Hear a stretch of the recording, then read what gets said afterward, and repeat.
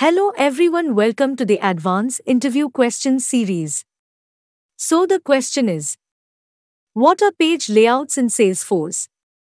And the answer is Page layouts control the layout and organization of fields, buttons, Visualforce, custom links, and related lists on object record pages.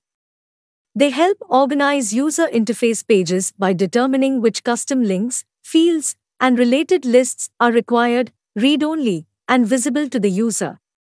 For a customized experience, one can create multiple page layouts and apply them to various user groups. Thank you. Let's meet in the next video.